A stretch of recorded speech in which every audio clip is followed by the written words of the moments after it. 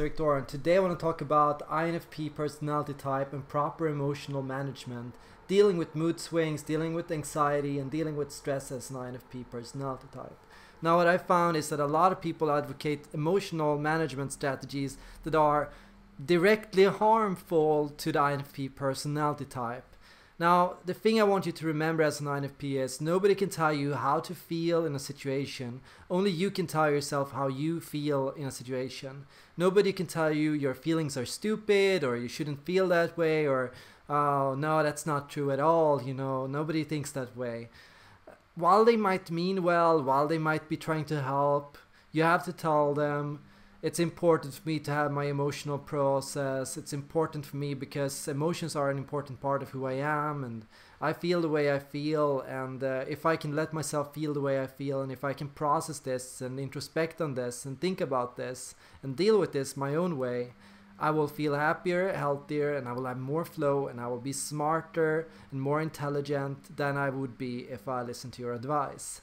And now, okay, what I think and what I've found is that uh, INFPs, like all personality types, have their own unique set of uh, stressors, their own unique things that give them anxiety, their own unique things that give them peace of mind and happiness. And so in this video, I want to tune in on your unique way to flow and your unique way to happiness as an INFP personality type. So what I've come to learn is that INFPs have four key things that they need to be looking for in their life and these four things will give you courage, they will give you pride in yourself, they will give you peace of mind, and they will give you joy. So these four things, they are integral fuels or core parts of your personality type that you need to work with and engage in to feel at your best. When you're not at your best, often the reason is because your four most core values have been shaken, the four most important things to you as an INFP have been repressed.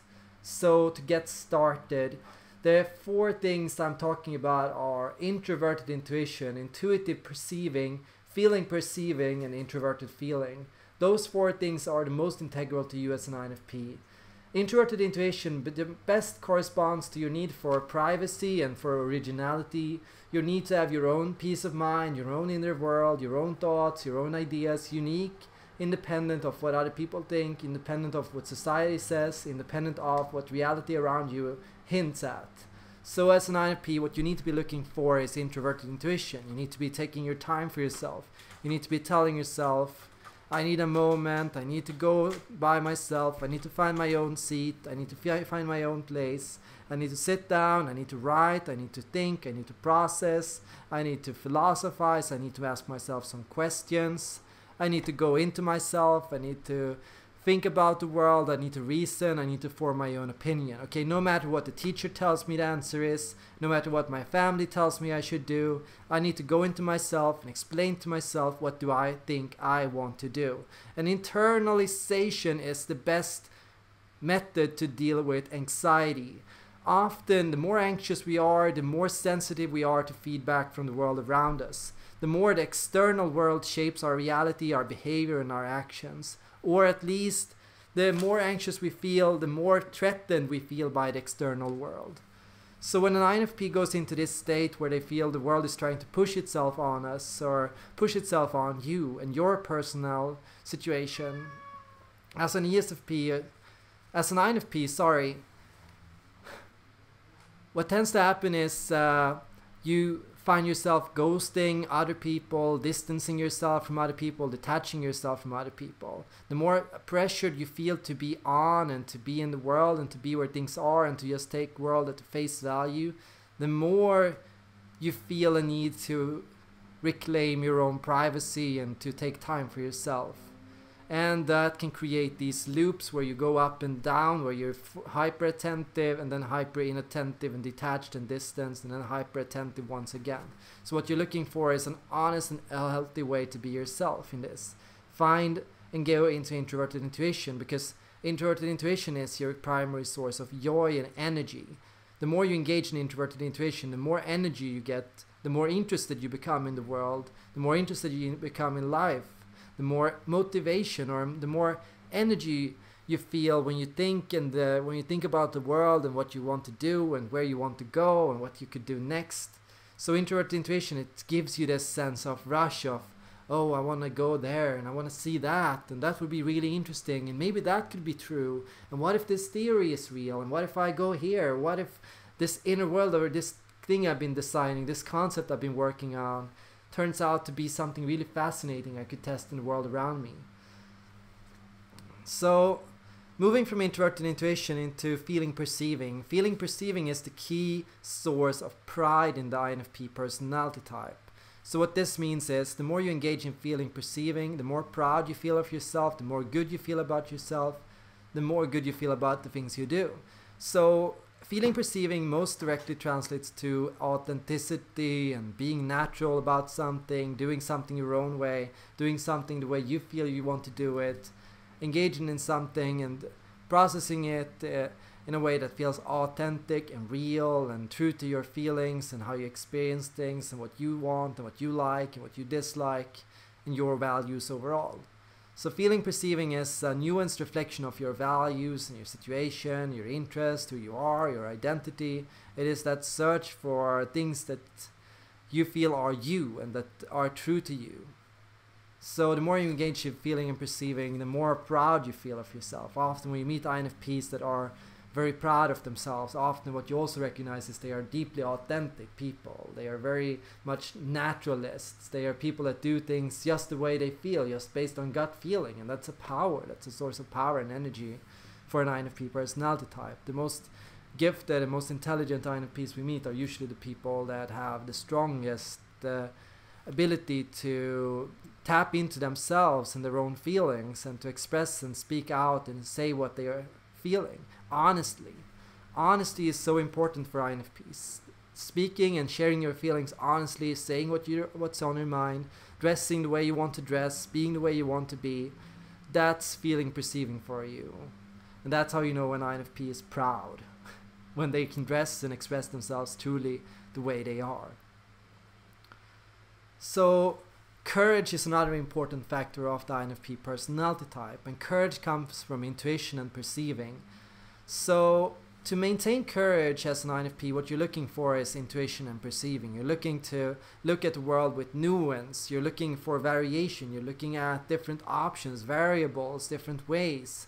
You're thinking about the world tactically, you're thinking about the world from the perspective of what could happen next, what could change, what could go on now what, what if this comes to be? What if this possibility? What if this option?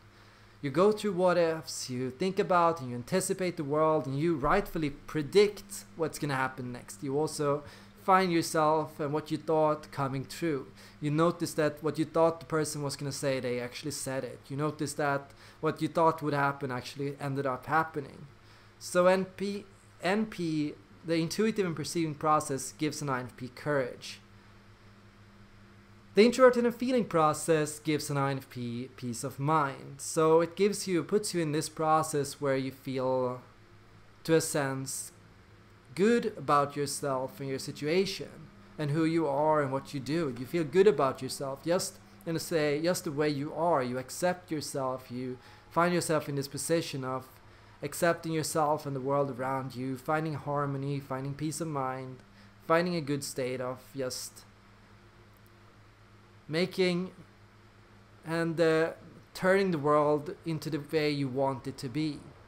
You know, we all are trying to constantly shape the world according to our values. And uh, for you, this just means shaping yourself the way you want to be, living in tune with your purpose, being the person you want to be, acting the way you want to be, doing what you want to do. As INFP, what gives you peace of mind is just knowing that I've been myself. I've done what I'm meant to do. I've done and been the person I want to be. I've been true to my purpose. I've thought about who I am. I've reflected on myself. I've gotten to know myself. And then I've thought about this and then I've decided to act in a way that will make me proud and happy and at peace with myself. So introverted feeling gives just like introverted intuition some kind of stability that you need to combat anxiety. The more you can tune in and know yourself as an INFP, the more stability you feel. Often, what tends to happen when INFPs come into the MBTI is they go from being anxious because, uh, yeah, they are not society's recipe for the successful person. They are not that the rich guy who owns flashy cars and drives around and uh, has everything and has so much material stuff. They are the people that are and have richness in themselves in the sense of understanding themselves, having gained some kind of wisdom or insight into their own personality, into their own needs. And in this way, having richness because you are and you know yourself, you know you're living the way you want to live to be happy. Intuition and perceiving and feeling and perceiving is the primary source of relaxation for an INFP. You know, when you get into that position where you've thought about the situation, you prepared yourself for anything that could happen, you've responded honestly and authentically to the situation, you've said what you needed to say, you have put it all out there, you shared everything that was on your mind. When you are in that situation as an INFP, you can truly relax. You find yourself just relaxing. You find yourself just feeling, feeling good feeling like a weight is off your shoulders. The more you engage in intuition and perceiving, the more you engage in feeling and perceiving, the more you feel weight has been lifted from your shoulders. So what happens here is, uh, well, the message here is, if you feel there is a lot of weight on your shoulders, if you feel there is a lot of fear in you, if you feel like there is a lot of anxiety in you, if you feel there is a lot of shame in you, what you need to ask yourself is have I been honest? Why am I ashamed? Is it because I've. And the answer is often I have not been honest enough. I'm ashamed because I've not been myself enough. I'm ashamed because I haven't speak, spoken enough, out enough. I've been thinking of speaking out. I've been thinking of sharing my mind. I've been thinking of being honest because that's very important to me as an INFP. But I haven't been doing it because, yeah, I've been afraid, I guess.